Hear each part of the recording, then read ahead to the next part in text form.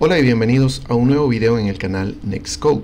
Yo soy Hugo Next y en esta ocasión vamos a desarrollar un programa en Rust que nos permita poder obtener el precio actual de cualquier criptomoneda. Para ello vamos a conocer nuevos conceptos de Rust, además de ver cómo se manejan las APIs de terceros, en este caso de un sitio web en particular, de donde vamos a obtener esta información del precio de las criptomonedas. Para comenzar vamos a crear nuestro proyecto con cargo new y vamos a agregarle un nombre cripto consulta perfecto ahora ingresamos a nuestra carpeta y lo abrimos con Visual Studio. Vamos a hacerlo más grande para que puedan verlo sin problemas. Ok. Bien. Tenemos listo nuestro código. Bueno vamos a utilizar este print ln para empezar le vamos a pedir al usuario que introduzca una moneda. Eso es lo primero que le va a aparecer al usuario. Lo que nosotros luego necesitamos es obviamente crear una variable, en este caso va a ser una variable mutable, que le vamos a poner de nombre moneda. Y esto va a ser igual a un string, va a ser de tipo string, y vamos a llamar a la función new para que se cree. ¿Okay? Ahora lo que necesitamos obviamente es asignar este valor que ha introducido el usuario a la variable moneda. Para eso vamos a hacer el uso de la librería IO que viene por defecto dentro de Rust, input output. Eh, si nosotros le damos autocompletar, fíjense que es necesario, en caso de que no lo tengan, en la parte superior agregar use std 2.2.io. Eso le está diciendo a Rust que voy a necesitar y voy a hacer uso de esa librería. Una vez agregado ahí, voy a poner 2.2 puntos y voy a escribir este team y eso me va a permitir poder llamar a una función que se llama readLine que básicamente va a ser leer la línea que va a introducir el usuario aquí le tengo que pasar la variable de donde yo voy a almacenar esta, este valor ahora si fíjense que aquí ya me está pidiendo y me está dando mensajes importantes Rust es muy amigo de el desarrollador en tiempo de programación porque te va dando sugerencias de cómo hacerlo. Además, en tiempo de compilación te arroja los errores antes de que compile. Ahora, aquí me dice, tenés una variable acá que es moneda, pero acordate que es mutable y además no tenés que pasarle la variable, tenés que pasarle una referencia a esa variable. Por lo tanto, yo para eso utilizo el ampersand, le digo mut y el nombre de la variable, moneda. Perfecto. Recuerden de que a uh, Rust es exigente con el manejo de los errores y las excepciones, por lo que yo tengo que manejar alguna excepción que vaya a ocurrir acá con un mensaje. Hubo un error al leer. Algo tan sencillo como eso. Y una vez hecho eso, eh, yo tengo ya esto lo necesario para poder seguir con mi programa. Ahora, ¿qué es lo siguiente? Yo puedo imprimir el valor de eh, que he obtenido dentro de moneda, pero hasta ahí ya sabemos que está funcionando correctamente. Lo siguiente que voy a hacer en este caso preciso de eh, que queremos conseguir los datos de una moneda, de una criptomoneda, yo voy a manejarlo a través de una variable. En este caso voy a crear una variable que se llame resultado. Resultado, ¿por qué? Porque esta variable me va a permitir obtener o llamar a una función y esa función me va a devolver los valores que yo necesito. Eh, en esa función obviamente voy a hacer todo el programa necesario para obtener esta información de la moneda o de la criptomoneda. Por lo tanto aquí yo voy a llamar directamente a esta función. Le voy a llamar get precio y le voy a mandar obviamente un valor. Le voy a decir que me busque el precio de la moneda que me está diciendo el usuario. En este caso yo la tengo dentro de la variable moneda. Entonces le mando una referencia de ella con esto de acá. Perfecto. Ahora, cuando yo obtengo este valor o este resultado, eh, ¿cómo lo manejo? Yo lo voy a manejar con el match. Recuerden de que match ya lo hemos utilizado anteriormente en los dos anteriores videos y lo hemos utilizado de forma distinta, así que tenemos bastante información importante acerca de eso. Pero aquí hay una otra forma, me permite poder manejar los valores de eh, tanto de OK y de error. Por lo tanto, yo le voy a decir que maneje el resultado. ¿Ok? Perfecto. ¿Qué opciones tengo acá? eh, yo tengo la primera opción que me vaya a devolver un OK. Y en caso de que sea OK, yo le voy a guardar toda esta información dentro de mi variable precio. ¿Ok? Perfecto. Esto me va a imprimir, si pasa esto, le voy a decir que me imprima el siguiente mensaje. El precio de la moneda es dos puntos y le voy a pasar las llaves necesarias. Recuerden que en los dos anteriores videos les coloqué o les mostré de que la variable la ponía dentro de las llaves. Hay una otra forma dentro de Rust de poder llamar a esas variables e imprimirla, que es al final agregándole una coma y pasándole ahí el nombre de la variable. Bien. Perdón, aquí es coma. La otra opción que tengo es la de error. ¿Sí? Cuando me llega un error también la tengo que manejar y le voy a asignar todos estos datos de error dentro de la variable error. ¿Y qué es lo que va a hacer? Me va a imprimir obviamente un mensaje diciendo error al obtener el precio. Ahora, yo puedo dejarlo simplemente con este mensaje de error, pero si yo quiero trabajar de una manera un poco más, digamos, profesional, fíjense que el resultado que me genera Rust en ese error lo está almacenando, le digo que lo almacene en la variable error. Y yo le puedo pasar aquí esa variable para que tenga mayor información acerca de ese error, una información técnica. Ahora, bien, yo tengo el, uh, en este caso, la función getPrecio, ¿ok? Ahora necesito crear esta función. ¿Cómo creo una nueva función? Voy a crear con fn y le voy a agregar el nombre de esa función. Esa función, en este caso, está recibiendo una variable. Esa variable, como ustedes saben, es la variable moneda. ¿Ok? Ahora, yo le voy a decir aquí de qué tipo de variable va a ser. En este caso le voy a pasar una referencia de que va a ser un string de tipo str. Ahora, ¿qué es lo siguiente que voy a hacer acá? Aquí me voy a detener un poco y vamos a revisar la información que tengo acá. Para empezar, este es el sitio web del cual yo voy a obtener la información del precio de las criptomonedas. Fíjense que CoinGecko obtiene eh, o puedo obtener los valores de, creo que son todas las criptomonedas existentes hasta el momento. Eh, y esto se va actualizando en tiempo real, así que es bastante buena la información. Pero por otro lado, para poder hacer eso, el primer paso que necesito es manejar desde Rust, eh, obtener, poder obtener toda la información de un sitio web básicamente obtener la información de una API en este caso. Para eso, yo voy a hacer uso eh, de un crate que se llama Urex. ¿Ok? ¿Qué me permite hacer Urex? Básicamente, como dice la descripción, hacer el manejo de un HTTP o del cliente HTTP de una manera simple. Es tan simple que ellos no tienen una documentación en la barra lateral derecha, solamente la tienen en esta parte central de acá y lo vamos a ver que es simple. El primer paso obviamente vamos a copiar esto y lo vamos a agregar a nuestro proyecto dentro de cargo.toml. Le damos pegar y vamos a guardar esto de acá. Perfecto. Una vez hecho eso, eh, vamos a ver acá cómo es la forma de usarlo. Me dice, tenés la función principal en este caso, obviamente yo tengo la otra función. Me dice, puedes utilizar de esta forma. El resultado que me devuelva lo que vos estás pidiendo dentro de la función y lo vamos a almacenar en body y me interesa todo esto así que lo vamos a copiar de acá y lo vamos a pegar obviamente acá bien ahora aquí hay algunas cosas importantes número uno no necesito esto el set solamente necesito llamar y convertirlo a string. Por lo tanto voy a, eliminar esto de acá. Lo segundo que voy a hacer es esto. Fíjense que esto es muy importante.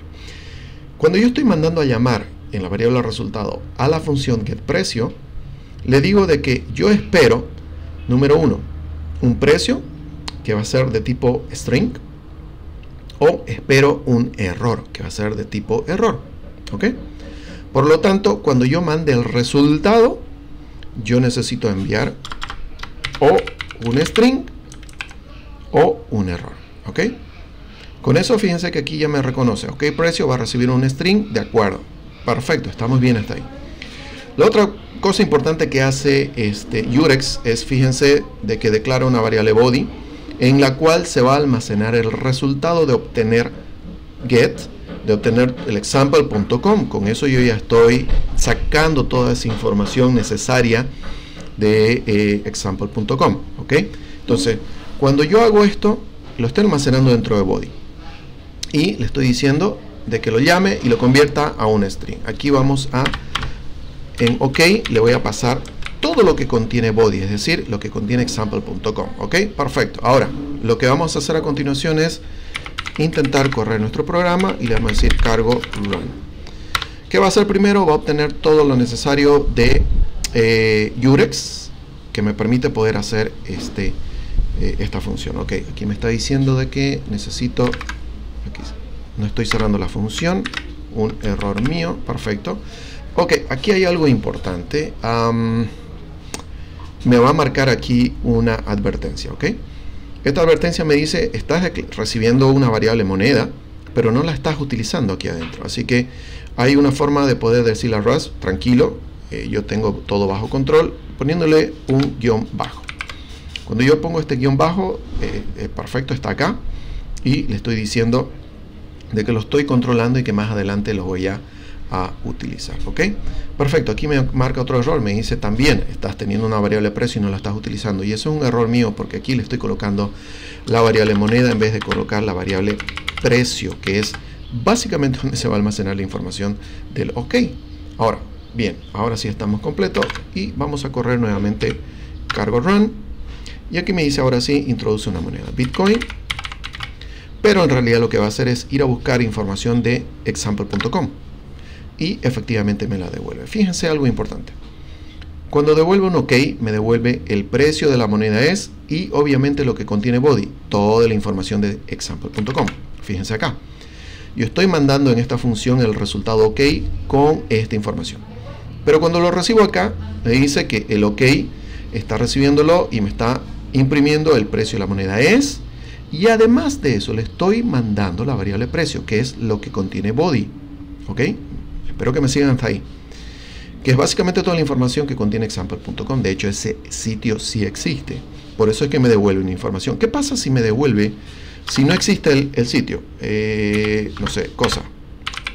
¿Ok? Cosa, perfecto. Ese dominio espero que no exista, creo que no existe. Pero ah, aquí en este caso, como no obtiene nada, pienso yo, me tiene que devolver un error y se tiene que imprimir error al obtener el precio, pero además se tiene que imprimir los detalles de ese error, porque lo estoy diciendo acá. Veamos y hagamos la prueba, ¿ok? Vamos a limpiar un poco esto y vamos a decirle cargo run nuevamente. Introduce una moneda y efectivamente, fíjense que me imprime error al obtener el precio. ¿Por qué? Porque lo estoy manejando acá.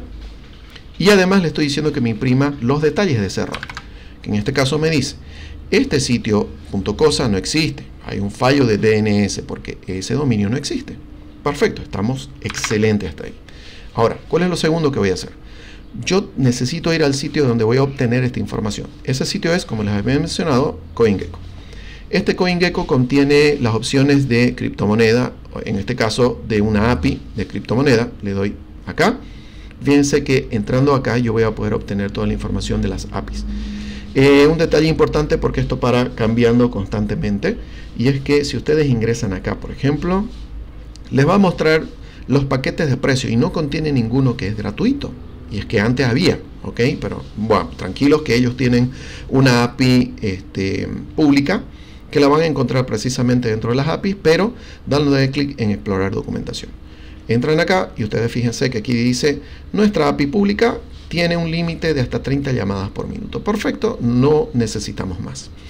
A continuación vamos a ir a buscar coins y aquí nos va a permitir poder ingresar al ID. Pero antes de eso, es muy importante algo. Nosotros necesitamos manejar esta información. Fíjense que vamos a hacer la prueba acá y nos va a devolver en realidad un archivo JSON que contiene bastante información. Lo hagamos la prueba, ¿ok? Ustedes pueden darle en try out para probarlo y se me activan estas dos opciones. La primera es donde yo le tengo que pasar un nombre de moneda, en este caso Bitcoin, ¿ok? Y la segunda es que eh, básicamente me devuelven todos los lenguajes. Yo no necesito todos los lenguajes y me da la opción de ponerle false, así que le vamos a poner false. Perfecto. Y con eso yo ya puedo darle en ejecutar. Fíjense que Primero, me devuelve algo muy importante. Este enlace de acá, que se genera, es el que yo voy a necesitar para mandar a llamar esta información, ¿ok? Lo vamos a ver en un momento. Pero además, fíjense que me devuelve información importante. Un JSON con información importante, que es el ID, el símbolo, el nombre, etc. Ahora, si voy más abajo, eh, aquí está lo que yo voy a necesitar en mi programa, que básicamente va a ser el Market Data, Current Price, y aquí dentro de Current Price encuentro al USD. Básicamente es el precio en dólares, 43.668 dólares por eh, cada Bitcoin. Ok. ¿Qué es lo que hacemos a continuación? Yo voy a copiar este enlace, como les había mencionado, que es básicamente el enlace que me permite poder obtener la API que necesito. Me voy a mi programa y aquí voy a reemplazar el example.cosa, que no existe, y le voy a pegar el enlace que acabo de obtener. Ok, perfecto. Ahora, aquí hay un dato muy importante. Cuando yo le paso esto, no me arroja ningún error porque de manera específica me va a mandar a llamar los datos del Bitcoin. Pero yo en mi programa le estoy pidiendo al usuario que introduzca la moneda. Así que esto no me va a servir. Lo que yo tengo que hacer en este caso es pasarle, vamos a borrar y pasarle las llaves. ¿Ok? ¿Por qué? Porque esa es la forma en que yo tengo en Rust de pasarle una variable. Y al final le voy a decir que me pase la variable moneda. ¿Ok? Que en este caso ya la tengo acá. Eh, aquí le puse que no voy a utilizarla. Borro esto para que no haya ningún problema. Ahora, ¿qué es lo que pasa con esto? Porque aquí me marca un error. ¿Ok? Aquí le estoy haciendo uso de Yurex, que es una librería que me permite obtener información de un sitio web. Ahora, pero yo le estoy haciendo modificaciones a este, a este enlace o a este URL, donde le digo que le voy a pasar un parámetro, pero eso no me acepta, así que yo le tengo que dar un formato. Voy a abrir llaves y le voy a decir, voy a hacer una referencia a format, ¿ok? ¿Qué estoy haciendo con esto? Le estoy diciendo básicamente a, a Rust de que este Yurex le voy a pasar en un formato que reconoce Rust, que en este caso es las llaves, fíjense que ya me reconoce acá, y la variable, que en este caso es moneda. Perfecto. Ahora, si yo hago eso, yo ya podría obtener el valor de este sitio web, en este caso de la API. Si hacemos la prueba acá, vamos a dar a cargo run, me va a compilar, introduce una moneda. Aquí, ahora sí me va a obtener valor de Bitcoin, por ejemplo. Bitcoin Perfecto, fíjense que me devuelve un archivo extremadamente grande de un archivo JSON, ¿sí? Fíjense en la parte de arriba, vamos a ver un momento. Es bastante grande, ok, aquí está. Fíjense que me devolvió un OK, me devolvió el body que contiene toda esa información de CoinGecko, obviamente de específico de esa moneda. ¿Por qué? Porque me dice el precio de la moneda es de Bitcoin, nombre, etcétera. Lo tengo todo acá. El problema es que es demasiada información para ese JSON, ese JSON para lo que necesitamos. Por lo tanto, vamos a limpiar un poco acá. ¿Ok? Y acá yo lo que necesito hacer a continuación es parsear esta información. ¿Ok? Eh, básicamente parsear es, sería tomar, poder tener la habilidad de tomar de este archivo grande JSON los datos que a mí me interesan solamente. Para eso yo voy a necesitar de una librería externa también dentro de Crates. Voy a necesitar de esta en específico que se llama cerde, perdón, cerde, que, me, que básicamente significa serializar y deserializar. Pero yo busco serializar y deserializar un JSON. Por lo tanto, voy a buscar la opción cerde JSON. Entonces la voy buscando hacia abajo y efectivamente la encuentro acá, cerde-JSON. Perfecto, ¿qué hago lo primero con esto? Obviamente copiar acá y mandar a publicar esto en cargo.toml dentro de las dependencias. Perfecto, ok. Una vez hecho eso, yo voy a, ver un poco acerca de la documentación de CERDE y fíjense aquí una, eh, algo importante. Yo voy a hacer uso de esta variable que es value, que es de tipo enum, que me va a permitir obviamente poder manejarlo de una manera más sencilla los datos y obtenerlos. Y me dice que algo importante que tengo que hacer es obviamente agregar esta línea de acá. La vamos a copiar. Y la vamos a agregar aquí arriba diciéndole a Rust que voy a hacer uso de JSON, de esta librería. Y hay bastante otra información. En este caso yo voy a poder, fíjense, eh, si declaro una variable de tipo value, que es lo que estoy haciendo acá, para que me devuelva el enum. Eh, lo voy a llamar de esta forma, ser de JSON from y le voy a mandar el dato, ¿ok? Bien, está sencillo, bien. Ahora, ¿qué es lo que vamos a hacer? Aquí abajo, lo que yo voy a hacer básicamente va a ser, como hemos visto allá, crear una variable let, vamos a ponerle parse, ¿ok?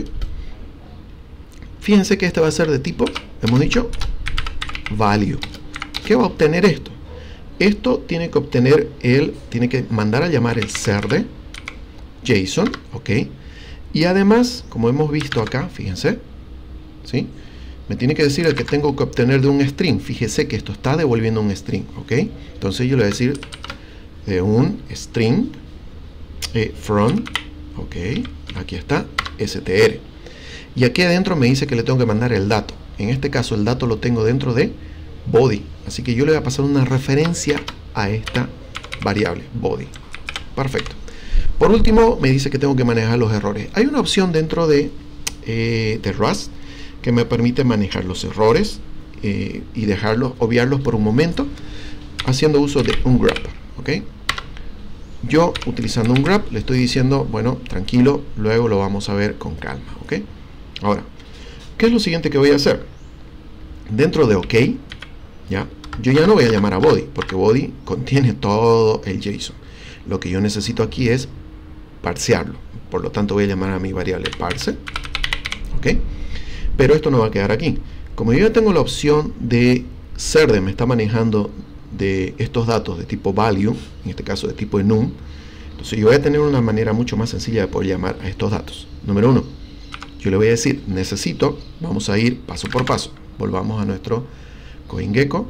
Fíjense que la información que tengo para llegar a USD es esta de acá. Primero, Marketplace Data, lo vamos a copiar y le vamos a decir necesito obtener esto primero. Luego necesito que vayas y obtengas el current price. Ok. Lo voy a pegar acá. Y por último, de toda esa línea vas a obtener el USD. Que lo voy a copiar por si acaso para evitar errores. Lo tengo. Uh, me pasé, aquí está. USD. Ok. Y de nuevo lo voy a copiar y pegar para evitar errores, ¿ok? Ahora, bien, yo estoy aquí con datos que me está devolviendo de tipo value, que son enum, ¿ok? Pero necesito, porque ahí me sale error, necesito devolverlos de tipo string. Eh, esa es una ventaja de ser de JSON que me permite poder transformarlo y decirle tú, ah, fíjense que aquí está tu string, ¿ok? Con eso yo ya voy a ir eh, solucionando mi problema. Em, hemos cerrado acá, me da una sugerencia por acá y estoy a veces eh, Una de las funcionalidades de Rust, por ejemplo, es que cuando estoy desarrollando eh, no me muestra ningún error, pero al momento de guardar ahí es donde empieza a analizar y de ahí recién nacen los errores. Por lo que es muy importante siempre estar guardando a cada momento el archivo para ver si ocurre algún error o no. Perfecto, con esto convertido a string ya no tendría ningún problema y vamos a intentar correrlo. Cargo run. Obviamente me está descargando todo lo necesario para el ser de JSON. Lo acaba de hacer. Introduce una moneda. Vamos a ir con la que conocemos, Bitcoin. Y me tendría que devolver. Efectivamente, el precio de la moneda es 43.466. Ahí no le estoy colocando dólares. Creo que sería una información importante. Perfecto. Ok, pero como verán está funcionando correctamente. Eh, me está trayendo toda la información a través de la API de CoinGecko. La está almacenando en body. La estamos parseando utilizando ser de JSON. Y aquí estamos obteniendo, en el OK, estamos obteniendo el valor que nos interesa, que en este caso serían los dólares. ¿ok? Y se lo estamos pasando obviamente a, a la variable que nos está haciendo esa petición, que sería resultado. Perfecto. Eh, podemos probar con alguna otra moneda y ver básicamente que esté funcionando. Vamos a irnos a CoinGecko. Podemos intentar Solana, ok. Aquí está. Vamos a correr nuevamente Cargo Run y le vamos a decir venezolana. A 61,02. Perfecto, no es más que mínima la diferencia, precisamente porque esto es en tiempo real y se va actualizando a cada instante. Perfecto. Por lo que hemos logrado elaborar nuestro proyecto deseado, así que hemos aprendido cosas importantes de Rust, por ejemplo, el manejo de errores con match, que es importante, como yo puedo llamar a una otra función. Además de eso, creo que también es importante eh, el hecho de haber visto cómo manejamos o extraemos información de otro sitio web, en este caso de una API de CoinGecko, haciendo uso de Yurex, que es una librería que hemos eh, recogido de la crates.io, que nos brinda Rust. Además de eso, hemos visto que es muy difícil y complicado manejar todo el JSON que nos obtiene de esta API, de cualquier API eh, de hecho, por lo que siempre vamos a necesitar parsearlo. Para eso hemos utilizado ser de JSON, que también es una librería Crates de crates.io. Perfecto, creo que hemos visto cosas interesantes de en esta ocasión. Espero que les haya gustado. Nuevamente, por favor, bueno, suscríbanse, comenten, eh, denle me gusta, eso va a ayudar bastante y compartan estos videos con los que ustedes creen que les puede interesar. Eh, un aspecto importante de todos estos videos es obviamente que yo animo nuevamente a que eh, traten de desarrollar por su cuenta estos proyectos. De esa forma ustedes van a sentar bien los conocimientos teóricos que están agarrando en los tutoriales o en los cursos que están haciendo. Traten de hacerlo, eh, tienen el código acá, lo pueden desarrollar una y otra vez hasta que eh, básicamente además de entenderlo el concepto puedan aplicarlo y se les pueda quedar y aprender efectivamente. Muchas gracias por ver este video, nos vemos en la próxima que vamos a estar elaborando otro proyecto práctico para aprender Rust. Hasta la próxima.